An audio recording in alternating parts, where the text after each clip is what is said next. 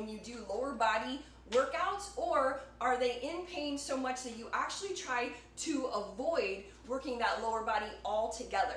My name is Terrell and I'm one of the coaches here at Beyond 40 and today I have five exercises that are going to work that lower body, your quads, your hamstrings, and all those muscles around your knees and we're going to help support it but while we do it, we're going to take the load off of your knees. One of the best things that we can do as we age to keep our metabolism on fire is to keep our muscle mass on our frame.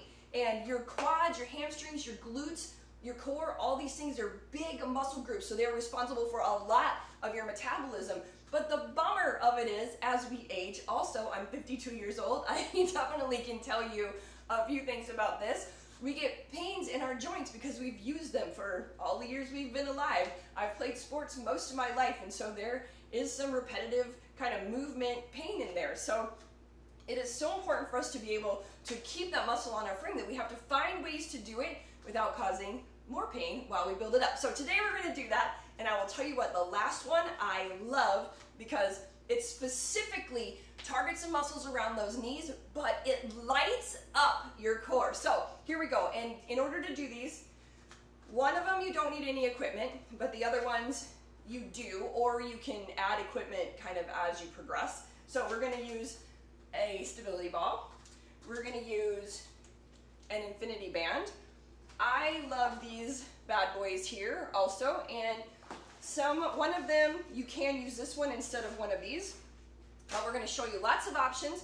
So whatever you have, most of these things are super inexpensive and you can just grab them in, you know, that big online marketplace. You can have it in just a couple days. So, all right, let's get going because the first one that we're gonna do is actually called a straight leg raise. And I like this one because there's no bend at all to your knee. So you're gonna actually get down onto the floor.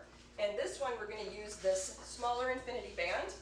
You're gonna put them around I like to put underneath one foot and on top shin here. Now, the more pain you have in your knee, the higher I want you to put this band because it's gonna support your knee a little bit more, okay? So we're gonna put it just about right here. It feels good. And we're gonna lean back and from here, we're just gonna raise this leg and drop it.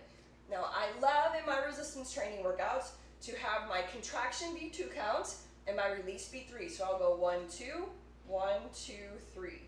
One, two, one, two, three. Now that doesn't play well with all of the exercises, but the two, three count, I love it, and it stimulates muscle growth in a quick way. So do those, do three sets each side, give me, you know, 12 to 15, and these resistance bands come in like a pack of five, and so start with the actual lightest because I want you to get a big range of motion.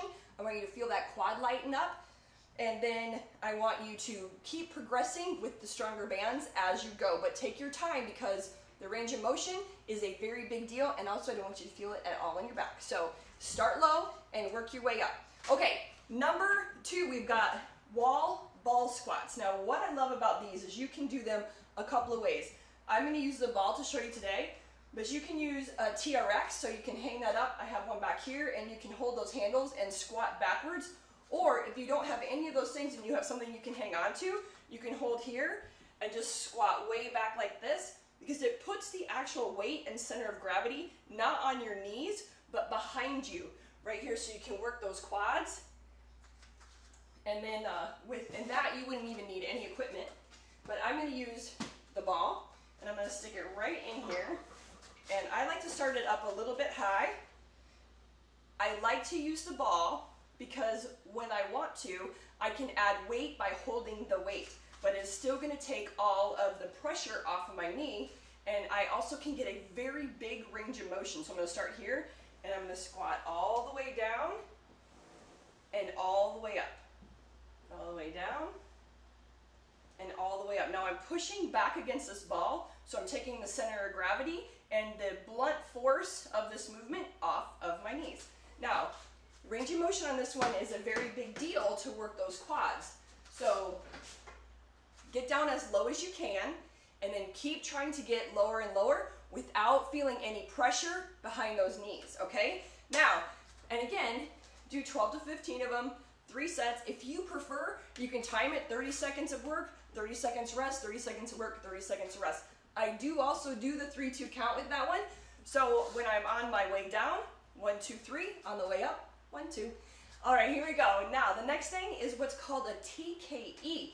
And this involves straightening that knee all the way. When we have knee pain, a lot of times um, we can't uh, straighten our leg all the way, and, and that is a really big deal. So this is gonna work your quad big time and your hamstring, but it's gonna help you get that range of motion with that knee. Now, you, I'm gonna use this band, and I'll show you how, but you can also use this one, you're just gonna put it around here, give it a little tie, so you can hold on to it in a loop. But I'm gonna do it this way, right here. I'm gonna put my leg through both of these loops, all right, and now is gonna kind of pull, I'm gonna have it right behind my knee, it's gonna kind of pull my knee, want my knee to come forward, so I'm gonna kind of stack my spine and push my hips forward, and from here, I'm just gonna start here, I'm gonna straighten my knee back just like this, I'm gonna hold it, one, two, three, and I'm gonna slowly release, and then gonna come back, hold it, squeezing that quad, and that glute. One, two, three, and in. One, two, three. And I'm telling you what, these are so great for like the whole leg. And what a beautiful muscle this builds. So now the next one, I love this.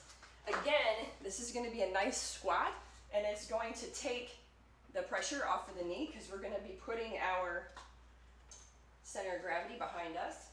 So you're gonna put this big band because you're going to need something.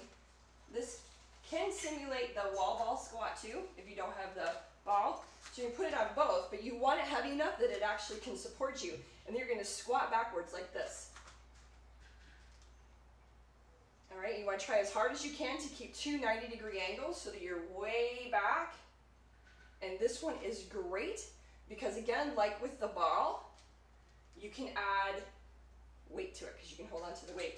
So, and I will go the count of three down and the count of two up.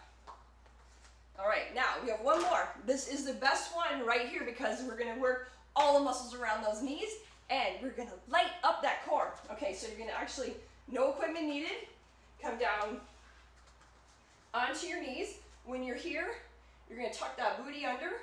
Okay, you're gonna really squeeze those buns.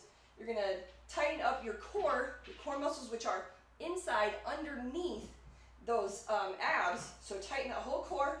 Start here. You're gonna lean back as far as you can, right? And then you're gonna pull up. So you're gonna lean back. Ready?